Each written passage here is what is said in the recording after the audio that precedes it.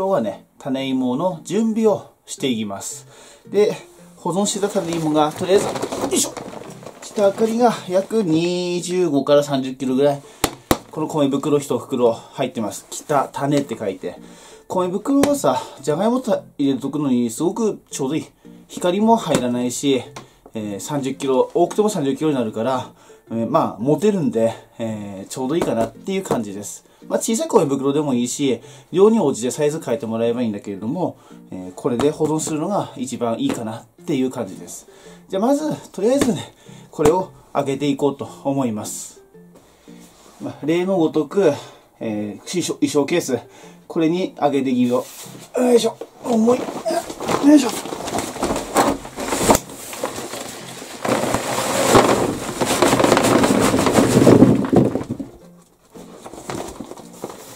よいしょ。っていう感じで、えー、タレ芋、一つ40から、えー、30g、30g、まあ最低 30g、まあ 40g から 50g ぐらいを狙って、えー、集めておいた種芋ね。ほんと販売できるんだけどね、このままね。食べれるんだけれども、えー、次の年のために取っておいたやつ。で、去年猛暑の影響か何なのかわからないんだけども、ちょっと途中にいっぱい、こういう風に、えー、芽がついてちゃったのね。これ良くないんで、これは取ってしまう。ポロポロっと。取っても次のが出てくるから、ここにちっちゃいのあるから、遠慮せず取る。で、それを他のコンテナ、よいしょ。これに、だいたい、なみなみになるまで入れていく。ひたすら、芽を取って、長い芽を取って、入れていくと。これちょっとちっちゃいけど、まあ一応予備で取っておくが。ね、ひたすら、ひたすらね、この芽が伸びたやつ、徒長したやつ、まあもやし、もやしになった芽を取って、えー、コンテナに移し替えていくと。ひたすらこれ、地味な作業。なんでこれ取るかっていうとさ、こんな、もやしみたいな苗はね、苗つが芽はね、健康的に強く育たないの。で、ほら、もうこの先っぽが焼けてるっていうか、ね、黒くなっちゃってるじゃん。これはもう死んでるから、こういうふうに弱い、弱い苗になっちゃうから取ってしまうの。ね。で、これをね、後でまた別の作業に移るんだけども、まあ、とりあえずね、この弱い弱い弱、弱しい芽を取ってしまって、えー、いくという作業をやります。ちょっと飛ばしますか。ちょっと面白いの発見したんだけれども、ほら、これ、これ芋だよ、これ。新しく伸びていって、その先に 芋ってつくんだけども、これ芋の赤ちゃんだ。びっくりした。この中でも芋ができてしまってたんだね。っていうことでさ、去年やっぱ猛暑だったからかな、秋も、えー、冬もね、ちょっと上向けるか。去年、秋も冬も暖かくて、ななんて言うんだろう、本当に普段だったらマイナス10度とか行ったりとかさ、プラス10度なんて行くことないんだけれども、プラス10度になるような日があって、真冬でもね。で、おかげでこういう風に目が動きすぎちゃって、秋もなかなか涼しくならないから、春と勘違いしたのか、どんどん目でできちゃってて、こういう風にさ、いろいろ、ね、なってしまったのさ。ね、なってしまったけれども、まあ、これはちょっとやめとくけれども、ね、こうなってしまっても、別にね、目取ってやれば、また出てくる、取れるんで、経験上大丈夫です。えー、本当に。この辺りで作業をしっかりやっとけば大丈夫なんで、えー、とりあえず目を外して、えー、あの、コンテナとかに上げていく。コンテナでも箱でもシプルシートでも何でもいいんだけども、とりあえず上げていくっていう作業を、まあ、継続していきます。だいたいこのくらいの、まあ、重なり合わないぐらいに、の高さ、深さっていうか、にして、とりあえずこれで一つのコンテナ完成。まあ、本当はもっともっといっぱいあるから、どんどんいっぱいコンテナ作っていくんだけども、とりあえずこれで次の作業に、次の場所に持っていきます。ね、これが大事。ね、まずは目を取る。失敗して、これ目出ちゃった。失敗しても大丈夫だから、目取ればまだ まだ挽回可能なんで、何回も挽回してきました。大丈夫です。ね、目がいっぱい生えてしまって、えー、ああ、これダメだないだと思う、種だと思っても、取ってしまえば大丈夫だから慌てない。で、次の作業に移ります。ここが俺のまあ筋トレ部屋っていうかその趣味の部屋でもあるんだけれども車庫の2階なんだけどここお日様が当たるじゃん。ね眩しいでしょ、ね、こういう場所に、えー、じゃがいもを移しておいてほしいなと。でこれでお日様に当てるっていうこと。ね。お日様に当ててほしいわけ。なんでお日様に当てるかっていうと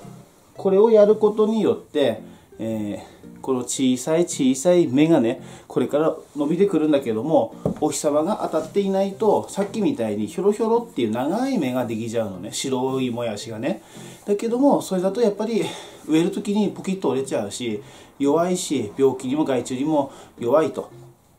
いうことで強い芽を育てるとさ。お日様が当たることによってこの眩しいお日様が当たることによって、えー、芽だから光合成されて緑色の太くて丈夫な芽が育って、えー、それを植えることによって病害虫にやられづらい、えー、初期生育のいい苗苗つが種苗芽に育つ。これを翼光災害とか他に名前何かあったかな？うんまあ育病育病翼光育芽とかいろんな言い方あるけれどもそういうふうにしてやるのね。要するに芽を育てる、ね、じゃがいもから出てくる芽を頑丈に丈夫に育てるためにやる作業っていうことで翼光栽芽、えー、育芽をやっています。やります。だけども俺の場合ね植えるのが今からおそらくおそらく早くて2ヶ月後この平地だったら、青森市内だったら、4月の頭だから1ヶ月後ぐらいには植えれるんだけども、俺山の上だから、えー、多分ゴールデンウィーク明けになって、で、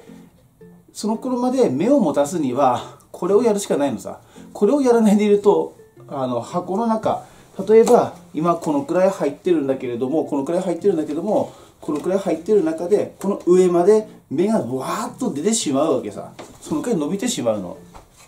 そんな弱い芽に育ってしまえば栽培うまくいくわけがないんで最初の、ね、育苗苗繁作っていうぐらいだからこのこれがじゃがいもの苗なの。これ今やってる今回やってる作業が苗作りになるわけさ。じゃがいものね。だから苗繁作これで半分まあ栽培の半分が終わるよっていう話なんだけどもね。だからここをしっかりやらなきゃいけないんだけどもそういうふうに伸びてしまうとうまくいかないわけだ。芽が全部腐ってしまう。折れてしまう。で芋の中にある栄養分も無駄に使ってしまって、えー、初期生育も良くなくなって良くなくて、えー、失敗してしまう。可能性が高くなるんでそれを避けるために芽を丈夫にする。これで長持ちするから本当に。俺今年ちょっとであの 多分今年も猛暑になるからおそらく暑くなるんで収穫を遅らせたいわけさ。なるべく9月以降に収穫したいなって思ってるんで、できればもう少し後がいいんだけれども、まあ、その回を考えて、まあ、3ヶ月育てる生育期間があるから、6月に植えたいなと。つまり今日が3月11日、東日本大震災の日なんだけれども、えー、今日やって2ヶ月、2ヶ月？じゃないな、3ヶ月置いとくってことが、ね、まあ、ちょっと京都に行ってこなきゃダメな仕事があるから、そういう関係もあるんだけども、3ヶ月置いてみようと。まあ、それを1年間窓際に置いといて、ね、使えた苗があるっていう経験があるからやるんだけどもね。っていう感じでやります。とりあえずこの光の当たる場所に置いておけば、結構じゃがいも、種芋っていうのは持つんで、あの目目の部分ね食べる分にはもう無理なんだけども目出ちゃってるから、まあ、食べる場合も目取れば食べれるんだけども、えー、この光を当てて丈夫な目にして短く短く太く、ね、太く短い強い苗苗つが芽を育てる。これをやっていきます。とりあえずねこういうふうに重なり合わないようにカサッとやっておいてでここにコンテナを、まあ、今空のコンテナ1個あるんだけどもここにもう1個また作ったのをこう重ねていくって重ねていってでこれは横が網目になってるんで光が入るんで、えー、これでやっていくっていう感じ。とにかく3ヶ月これで置いてみようと思います。あのちょっとこっちの俺の都合上の話であってね、貯蔵の問題、まあ、京都で仕事を仕事でっていうか京都に行く理由があって、えー、すぐに植えられないっていうこととで遅らせて収穫を遅らせて、えー、寒い時期なんつうんだ秋が最近あったかいじゃん。あったかい期間が長いと貯蔵するまで冬が来る前に芽が出てしまったりしてそれで去年うまくいかなかったんで収穫を遅らせるために植える時期を遅らせるね。っていう、ちょっとこう、今までにないようなやり方。まあ、新しい畑になって、標高高いところ、750メーター、800メーターのところから200メーターぐらいのところまで降りてきたから、ちょっとやり方がまた変わってくるんだけどもね。だから、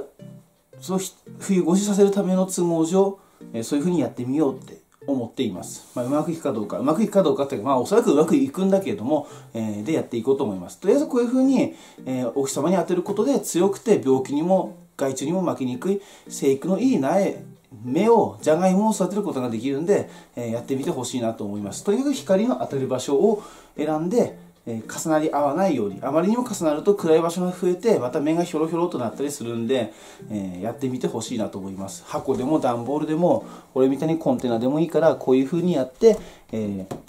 芽を育ててみてほしいなと。今この作業を今絶賛やってるところです。まだまだこれからバンバンバンバンメイクインとかもやっていくんで、まあ、北赤いとメイクインだけでいいんだけどもね、えー、やっていくんで、えー、忙しいなっていう状況です。今回はじゃがいもの、えー、緑光育が、緑光災害についてのお話でした。で、今年は3ヶ月この状態で置いてから植えてみますっていう話。うまくいくといいな。うん。っていう話でした。えー、ぜひやってみてください。伸びてしまったもやしの芽はとっても大丈夫なんで。え、バンバンポキポキ折ってこういう風に強い芽を育ててじゃがいもを植えてみてください。